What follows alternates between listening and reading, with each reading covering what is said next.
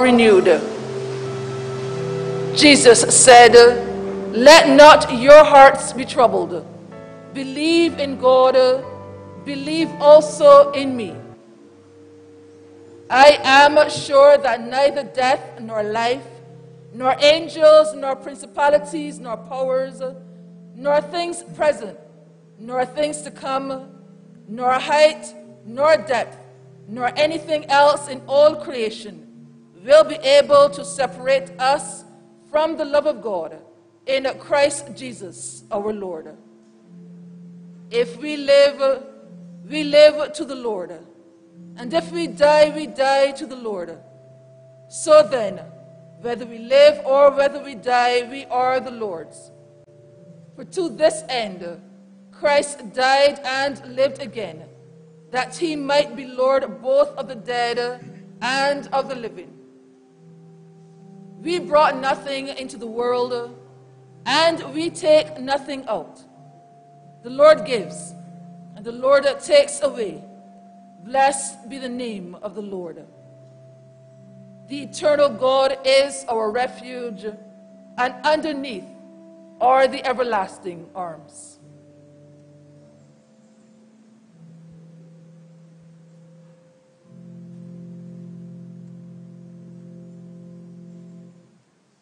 Please be seated for delivery of the eulogy.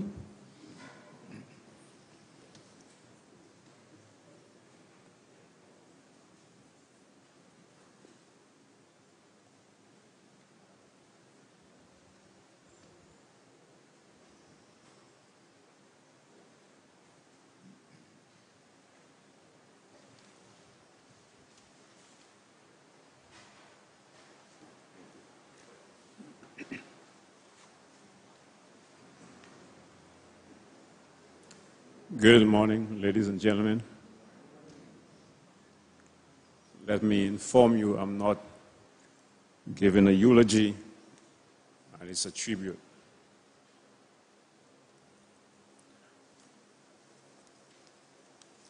I believe in giving people flowers while they smell it. And don't wait when they die to give them. But there is something about Margo that caused me to be here this morning and say a few words about her. Margo, my wife referred to her as her best friend. And I can see why she referred to her as her best friend. Over the years, like most men, the girlfriend or the wife would come home and always give a story about their friends or their loved ones. And oftentimes I would listen to Harriet as she gave her story, and I would carefully analyze what she was saying. And there are times I had to say to her, quite frankly, these are the type of people you associate yourself with. And there are times I had to give my strong disapproval. But never once I had to say anything or disagree with her when it comes to Margo. There was something in Margo quite frankly, I didn't see in the rest of her friends. And that's the reason why I strongly embrace her because of her kind, her kindness, her quietness, and her humility. I walked the length of breadth of St. Barnabas. Let me say this I I have never found anyone to be, excuse me, like Margo. And I'm sure I'm not contradicting myself by saying this. I never forget many years ago, to be precise, 1983, when I returned to St. Lucia to bury my dad. At that time, Harriet was pregnant with Roberta. And given her story, the, the many problems she encountered during her pregnancy, to the point that she was under severe stress. And many times she was deprived of certain things by her own family. And the only person that came to her rescue was Margo. And that's the reason why I stand here this morning. I know from time to time I will pass by and engage Margo in a conversation. And she would listen to you. And while listen to you, you will sense the hesitancy of responding to you. But Margo didn't want to say anything that would cause her to be controversial.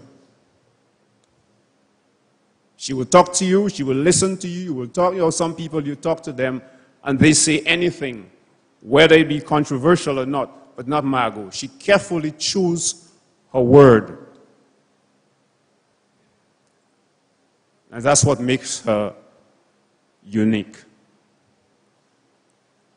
One time I stopped by and asked her a question. And she turned and said to me, Do you want me to tell you the truth? I said, Yes, because I believe in the truth. And that's what God required of us. And even telling me, responding to my question, you will sense that hesitancy in her, even though she was telling you the truth. Margo simply didn't want to say anything so that at the end of the day, anybody would say, Margo said this or Margo said that. That's the type of person, rather the kind of person Margo was. And the things about having good friends, a lot of times we don't embrace them while they're alive and we wait when they die to give them all these accolades. It's unfortunate. But let me say this. I believe this morning what, Mar- what makes Margo great is not riches because she didn't have any. It's nothing but her unique personality her good character, that's what makes her a great woman. And I believe this, that strongly because I am not a person who look at the riches of this life, but because those things are only temporal. Because life is not consist in the abundance of the things which one possess. Those things are just for a while. But what makes her great as I said, it's a personality. The unique person that she was. And that will remain with me for a very long time. Not only remain with me, but that will also remain as her legacy.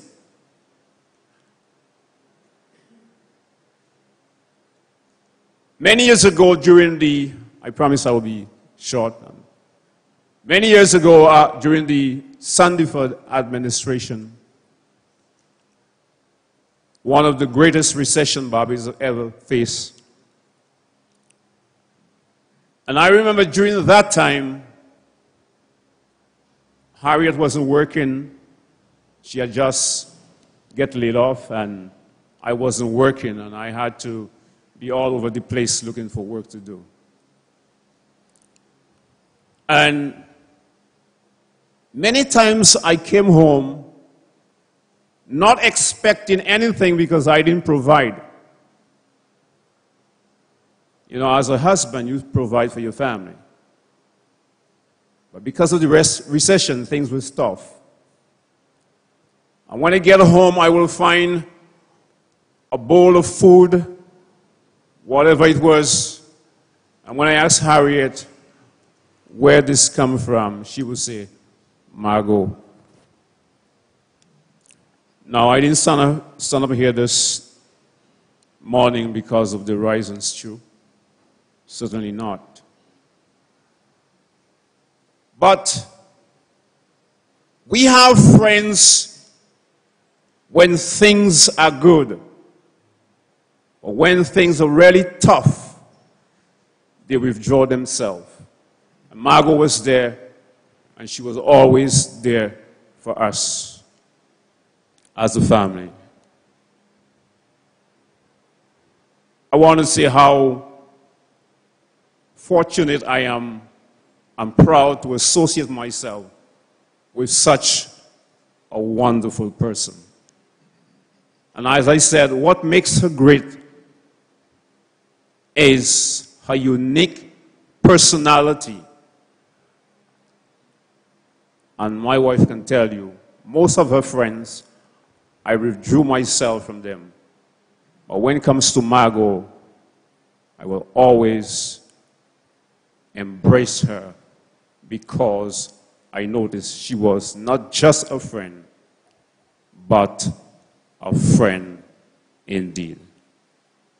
On behalf of my family and myself, I want to express my deepest condolences to the family of Margo. Rest in peace, Margo.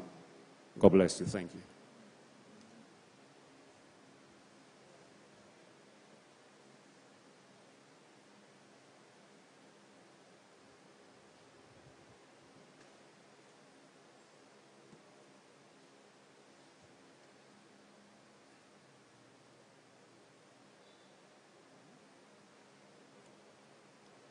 We now have a poem by Kearsia Hinkson.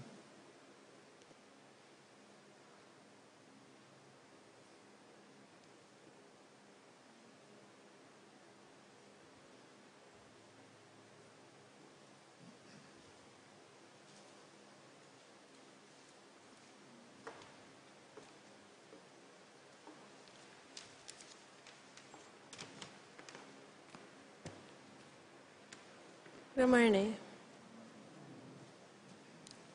This is a poem tribute to Elsa Margo Carrington, written by Daphne Franklin. You did not get the chance to say you're leaving, and you left us with heavy hearts. That's why we're grieving. You were gone without even saying goodbye, but only God knows the reason why. Our lives without you will never be the same for our hearts will ache whenever someone mentions your name. Today we are sad to say goodbye. Though we may seem strong, yet we will cry. In our hearts, your memory will always be there with the pleasant personality you often share. You are safe in the arms of your Savior and Lord, where you will receive your great reward. For God is waiting with his arms open wide to welcome you home close by his side. May you rest in peace. We love you.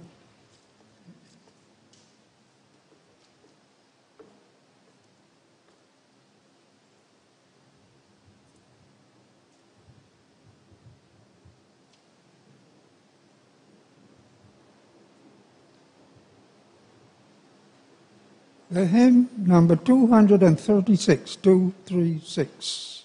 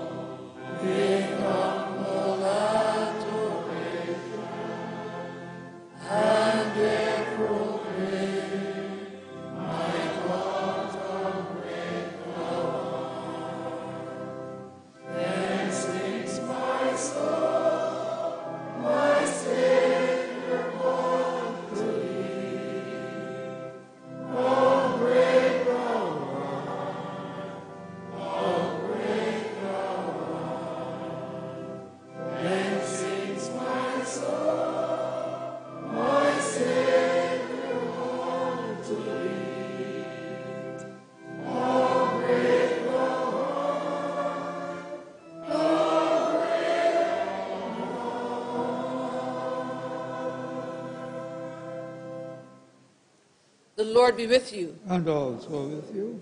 Let us pray. O God, whose mercies cannot be numbered, accept our prayers today on behalf of your servant, Elsa Margo, and grant her an entrance into the land of light and joy in the fellowship of your saints, through Jesus Christ our Lord, who lives and reigns with you and the Holy Spirit, one God, now and forever. Please be seated while we have the first scripture reading.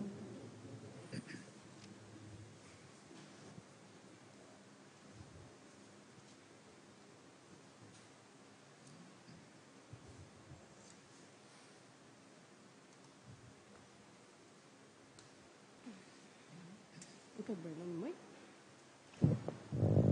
Thanks.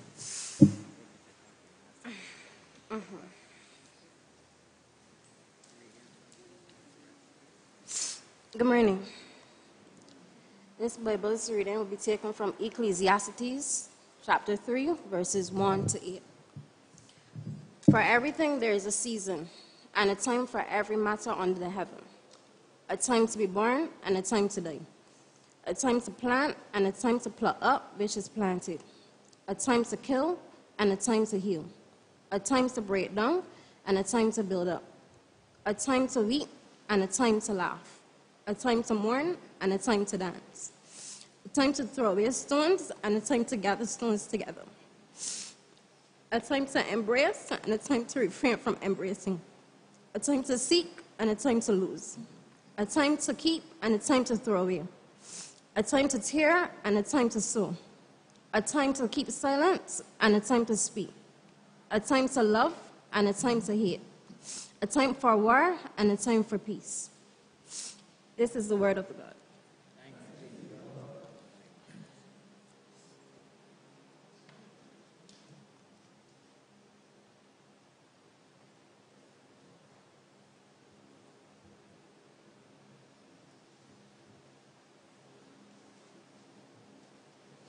The appointed Psalm number 46.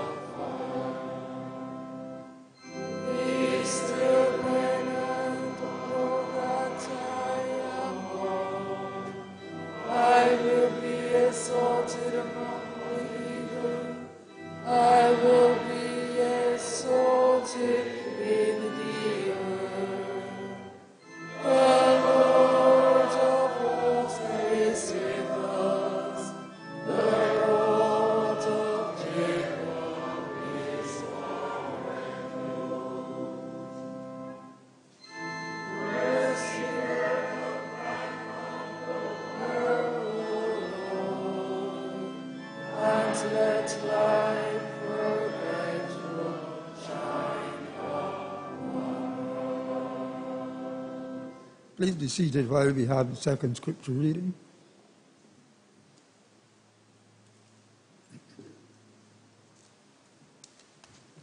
Second lesson.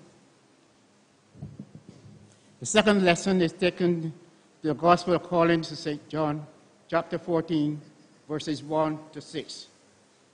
Do not let your heart be troubled. Believe in God. Believe also in me. In my Father's house there are many dwelling places. If it were not so, would I have told you that I go to prepare a place for you? And if I go and prepare a place for you, I will come again. I will take you to myself, so that where I am, there you may be also. And you know the way to the place where I am going. Thomas said to him, Lord, we do not know where you are going. How can we know the way? Jesus said to him, I am the way and the truth and the life. No one comes to the Father except through me. The word of the Lord. The hymn number 480 will be found on page 5 of your booklet.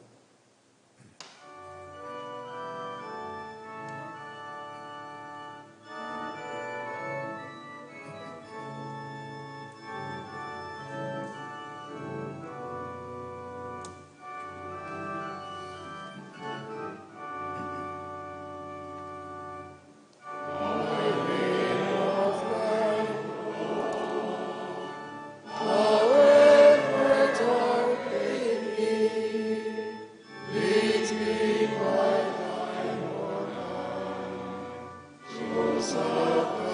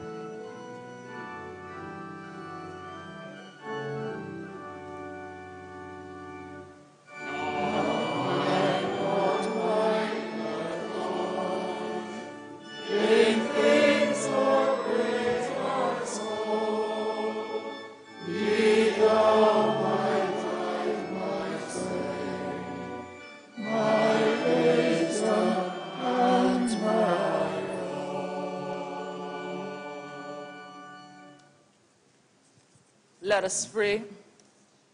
May the words of my mouth and the meditation of all our hearts be acceptable in your sight, O Lord, our strength and our Redeemer. Amen. Amen. Please be seated. Some words taken from John's Gospel, the 14th chapter and the third verse. And when I go and prepare a place for you, I will come again and will take you to myself, that where I am, you may be also. And when I go and prepare a place for you, I will come again and will take you to myself, that where I am, you may be also. These words spoken by our Lord to his disciples takes place in the midst of what we now call the Last Supper. And these words have often been words of comfort to many a generation at such a sad occasion as this. And many persons focus on the mansions promised. And they often overlook that wonderful promise just read. That our God, even before we know it, even before we are aware that we need His leading hand, He's already gone before us. Before we are even cognizant of needing His help, He has already provided for us all that we need. What do I mean? If you will recall during the Last Supper, the disciples were still clueless. Over and over again, our Lord told them that He must suffer, He must die, and then on the third day, He will rise again. And yet they did not get it. Even in the midst of that Last Supper, they were still confused. They still weren't aware. But our Lord knew. He knew that very shortly they'll be scattered and confused. There'll be sorrow. That some of them will utter the words we hear in Luke's gospel. We had hoped. And he says to them, even in the midst of their unknowing, I go and prepare a place for you. And for those of you who are still hung up on these mansions in heaven, who are perhaps interior decorating your future home in heaven, let me stick a little pin there for you and let you know that in the first century AD, the dwelling places referred to in John's Gospel actually took place or was allowed a context that there was no holiday inns, there was no sandals hotels when people traveled. When you were going from point A to point B, especially to the desert, you had to pitch up your tent wherever. And when you were traveling in a large party, you can't just stop and pitch a tent because you tent all night, right? So someone went before you to set up a place near water, near safety, set up a place of rest for the travelers. In other words, our Lord was saying to his people, I have gone before you in places of danger and made sure safety for you. I have gone before you to provide you a place of rest. I have gone before you. Our sister here lies uh, in the sleep of death. And I am not aware of the faith of many of you. I, I do not need to be aware of the faith of many of you. But what I do need to let you know is this for those of you who are not of our Christian persuasion, those of you who may believe that our sister lies here in death, and that is the full stop to her life, that is not our belief. The reason why we cannot sing songs lustily, why some persons will call this a service of thanksgiving, when we give God thanks for her witness and her life, is because we recognize that He has gone before her and prepared a place for her. But we recognize that she, perhaps living her life in such a way, recognized that she must do things in the here and now. Late last night, I was reading a poem, and the poet referred to our lives as ripples in pond. We are dropped into this existence without our consent. And each and every one of us, the point was, each and every one of us has a ripple effect that touches others. Our eulogist spoke, I know he didn't want to call it a eulogy, he called it a tribute. But my brother, I assure you, offered a, tri- a, a eulogy. For a eulogy is to give praise to someone, especially at the occasion of their death. And that is what you did. And I was struck by the fact that you recognized and you gave God thanks and you gave her praise in this public sphere for the fact that she was a true friend. She was not, as we would say, a fair weather friend. She was not one for whom the good times she was there, the so so times you may be able to call me, the bad times don't look for me. She was one who perhaps reflected on the blessings in her own life, sought in her ripple effect to touch others positively. Our Lord in his life was able to touch others, and the ripple effect is as such that you and I, 2,000 plus years later, can stand and do works of mercy, do works of love, because we recognize that we have been loved. We have been loved before we knew what love was. We have been offered chances of mercy before we even knew we needed it. We can have hope. We can have the faith and the courage, as we will say a later on, to meet these days ahead.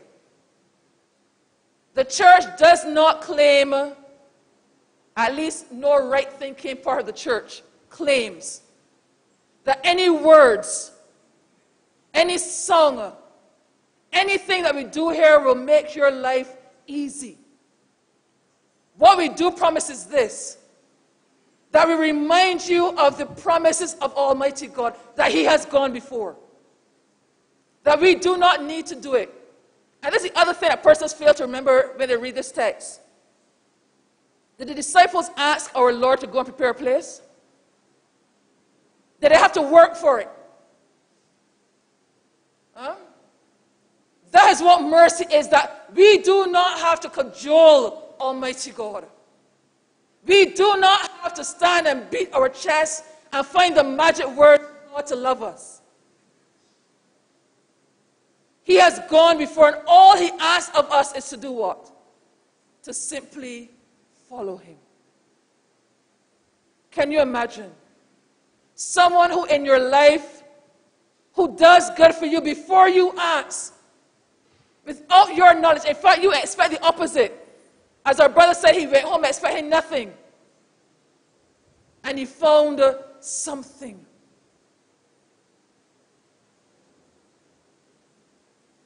That is unconditional love, my brothers and sisters. And we are simply asked to reflect that in our own lives. Our sister did. The church is currently in the midst of the Lenten season, where we reflect upon our Christian lives. And we're often asked to examine truthfully the state of these lives. And as we sung the hymn, I smiled to myself because I often remark to clergy colleagues that one of the greatest lies we ever sing in the church is this I dare not choose my lot. I would not if I might. Who are here honestly? Let's, let's be honest for a moment. Who in here, if you was given a choice by Almighty God for a smooth, easy, painless path, all lead to Him. Smooth, easy, painless. And a bumpy road filled of sorrow and woe. Who in here choosing the bumpy road? Don't answer out loud. The hymn writer knew that we often sing that particular verse of fingers crossed. And so he went on to let us know that the kingdom of God is what we seek. And so if you are to seek the kingdom of God, we must in earnest ask him to choose for us so that we may walk aright. In our own strength, we cannot do it. Our Lord has indeed led the way. But he also recognized that we are mortal. We do not always get it right. And so he gives us little examples in our lives, little angels. You see people ask the angels these little fluttering things with wings, right? Look to the person next to you. You can take a moment. Don't, don't, they ain't gonna get shy and, and, and, and do the makeup. Look to the person next to you. Holy Spirit said you may be looking at the angels unaware. For what an angel is, is a messenger of God. One who brings forth God's message, who reflects God in our life. So as you look to the person, some of you, some of you are too shy to look at the person next to you, look to the door. Some of you look down. Maybe there's somebody on your lap, I don't know. But also, as you look to that person, that potential angel in your life, recognize that they're also mortal. They're frail. As our sister did in her life, I encourage us to be that fair friend, not fair weather friend, that fair and faithful friend. That when truth needs to be told, you tell it, but in a way that lifts up. When someone needs nourishment, not necessarily physical food, but when someone needs the nourishment of love, kindness, we are there to provide it. In this moment of their pain, we provide a shoulder for them to cry on. Not telling them how to mourn, when to mourn, and how long to mourn, but we simply be a presence in their life. And in that way, my brothers and sisters, we are following the way of Almighty God. On behalf of the parish family here at St. Augustine, we uplift you in your moment of prayer. We uplift you in your moments of pain and sorrow. But we also encourage you, my brothers and sisters, to hold up true to the faith. The faith that says to us, before we even knew we needed it, God was already there. As our psalmist tells us, He is a very present help in the midst of trouble. And so we do not need to fear. We do not need to give in to hopelessness. We can indeed stand up and be there for one another. Let that be our pledge from this time forth until the ends of our own mortal lives. Our Lord Jesus said to his disciples, When when I go and prepare a place for you, I will come again. And I will take you to myself, that where I am, you may be also. Amen.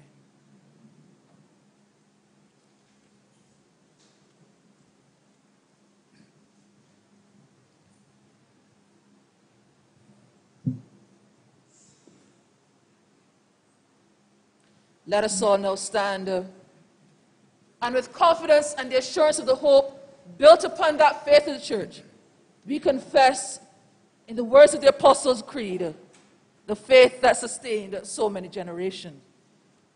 I believe in God, the Father Almighty, creator of heaven and earth.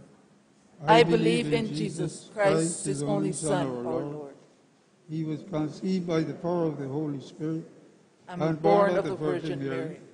He suffered under Pontius Pilate, was crucified, died, and was buried. He descended, to the dead. On the, third day, he rose again. He ascended into heaven, and is seated at the right hand of the Father. He He will come again to judge the living and the dead. I believe in the Holy Spirit, the Holy Catholic Church, the communion of saints, the forgiveness of sins, the resurrection of the body, and the life everlasting. Amen. Please sit as we're now led in prayers not only for our sister, but for we who mourn her passing.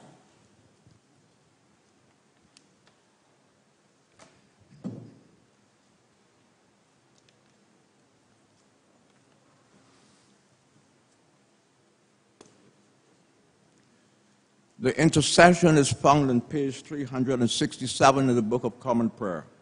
Your responses, hear us, Lord.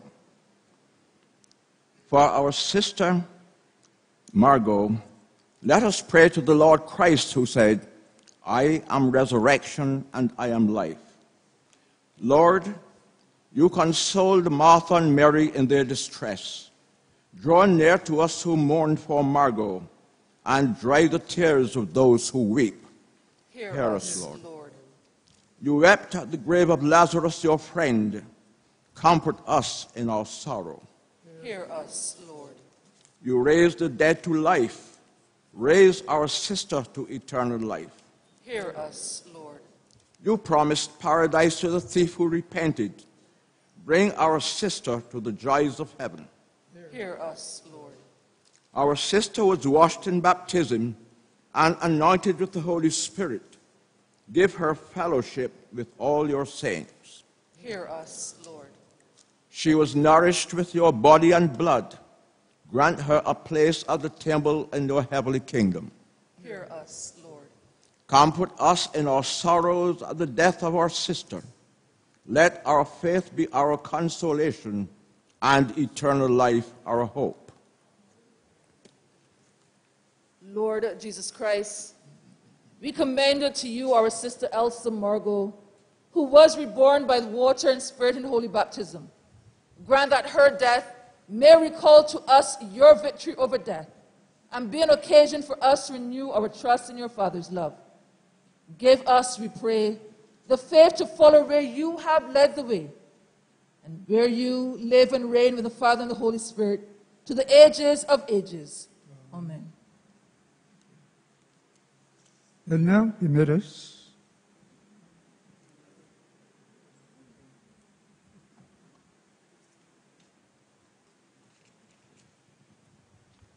During the singing of the next hymn, the collection plate will not be passed around. If anyone desires to make a contribution towards the upkeep of the church, as we're departing, there are offertory baskets at the exits doors, but the plate will not be passed around in observance of COVID 19 protocols and safety requirements. the hymn number 496.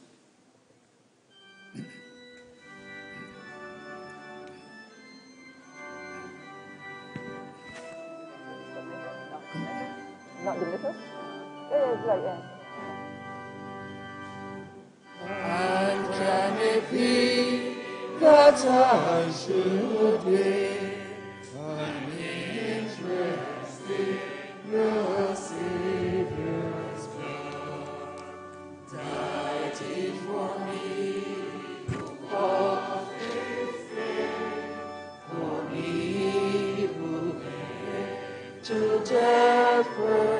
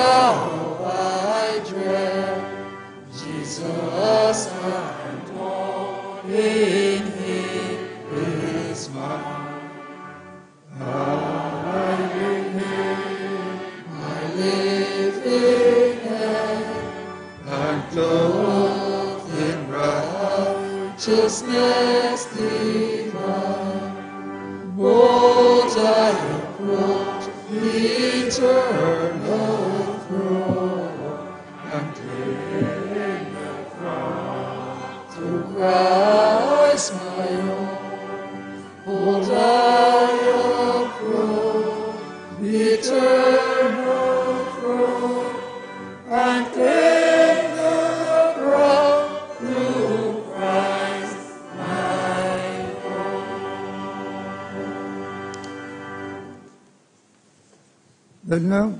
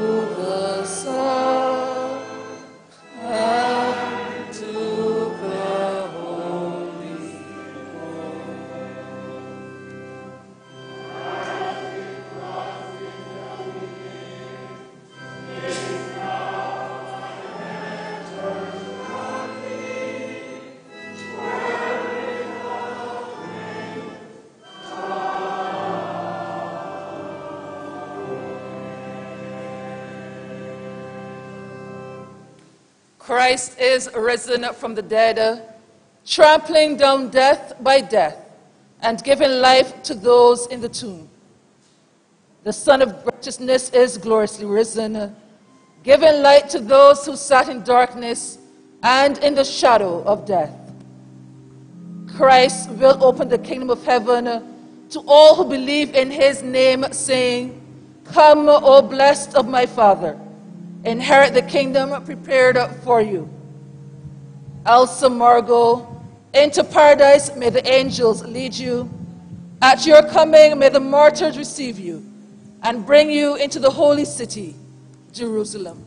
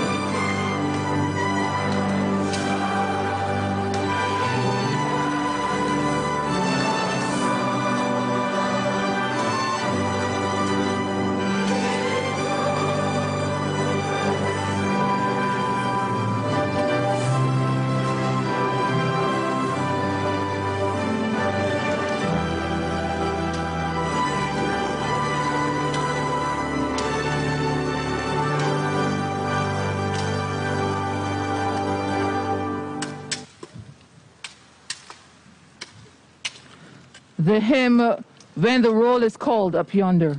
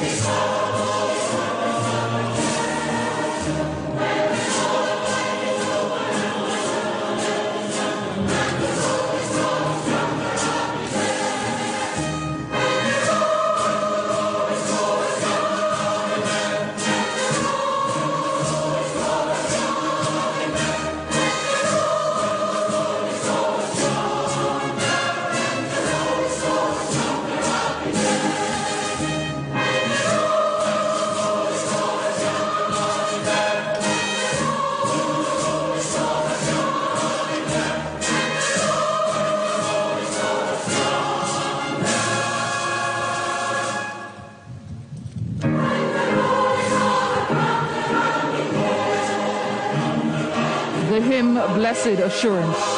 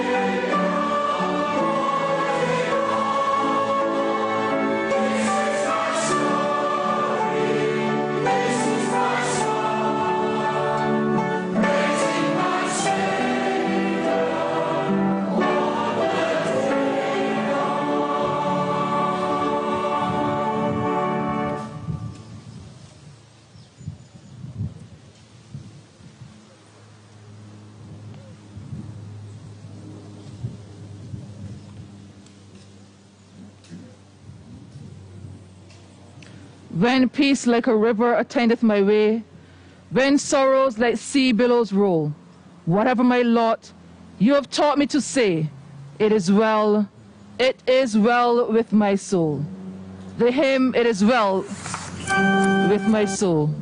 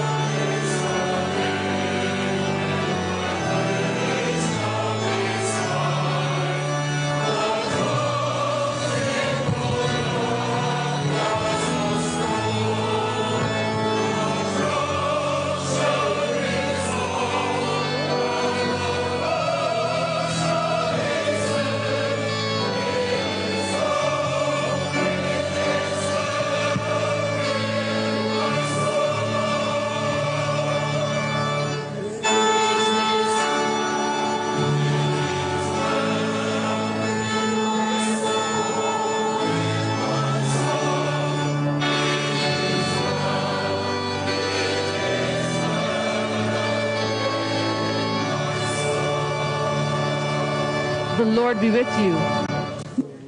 Let us pray. Remember, O Lord, uh, this your servant Elsa Margo, who has gone before us with a sign of faith and now rests in the sleep of peace. According to your promises, grant to her and to all who rest in Christ refreshment, light, and peace through the same Christ our Lord. Amen. And now unto him that is able to keep us from falling and to present us faultless before the presence of his glory with exceeding joy. To the only wise God, our Savior, be glory and majesty, dominion and power, both now and forever. Amen. Now to God's gracious mercy and commitment, I know, and God's gracious mercy, I now commit you. The blessing of God Almighty, the Father, the Son, and the Holy Spirit. Rest and remain with you. Be sources of comfort and consolation this day and forevermore. Amen.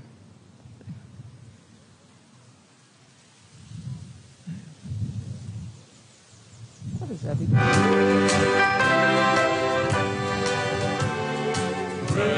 Precious memories of seeing death sent from somewhere to my soul.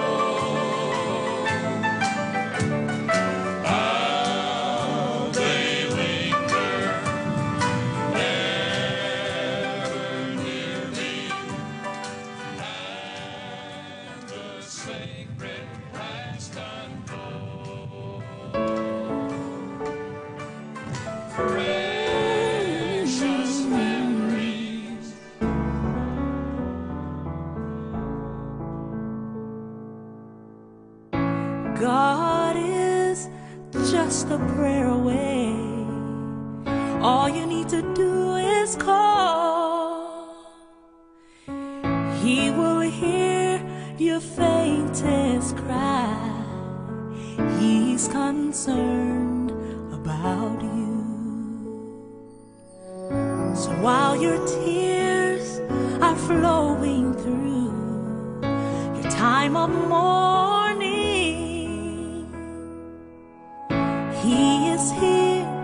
to lift your heavy heart.